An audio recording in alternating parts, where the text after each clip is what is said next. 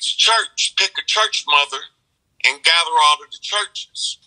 If you have a, a large Islamic presence, each one of them pick a umma or umi, a, uh, umi Islam or umi dar Islam. That means the mothers of Islam, right? And they will form a council, and then the leader of them will connect with the leader of the church mothers. This don't no longer have anything to do with religion. Mm. We destroying religion by instituting spirituality just like they destroyed spirituality by instituting religion. Mm.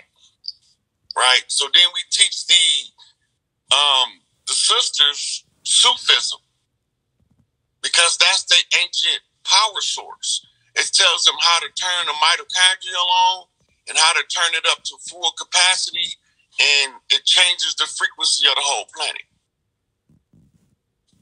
So they was allowed to take it from us, but they got men practicing it. The men can artificially raise their um, mitochondrial frequency, but it won't last when they leave unless it's with